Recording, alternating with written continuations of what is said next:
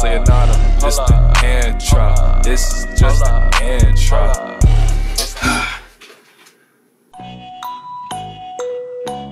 What's up, y'all? I go by the name of Kamus Leonardo, and honestly, I am just an adult who did not give up on his childhood dreams.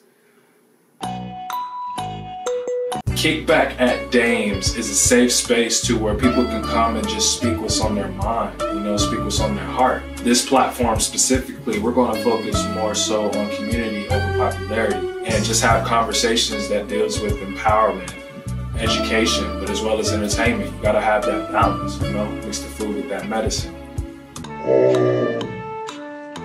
The reason why you all should tune in is time for us to bring awareness to where we're at. Here, specifically for me, is North Carolina. We focus so much on mainstream celebrities who could give two shits about it. So why not highlight the greatness that's happening around us and just have fun while doing it? You know, my motto has always been think global, spin local.